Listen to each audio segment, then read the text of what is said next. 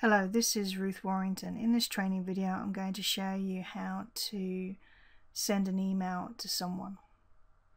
So as you can see, we're in Outlook. I need to click on New. This opens up the email creator.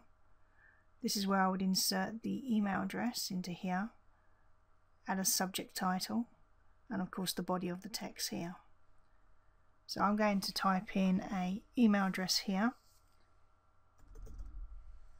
you'll notice that I have got these prompting up because this will happen if you send the email to this person, let's say on a regular basis, or if they are in your contacts list with Outlook.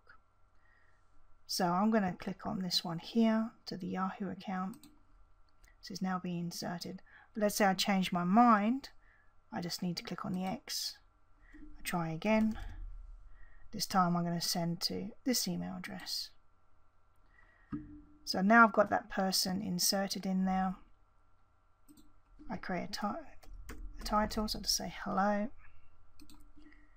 Then I type in my message, how are you?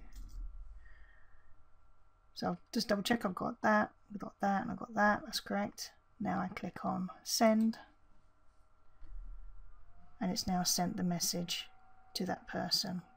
To double check that the message has gone through, that I've sent it correctly, click on Sent. There'll always be a copy of the email in your sent box. So if I just click on that, it'll then tell me, if I click on this little arrow down here, information. So this is my email address, this is the date, the time it was sent, and this is the email address of the person I've sent my email to with the brief message. Okay, so that is how you would send an email to another person with their email address.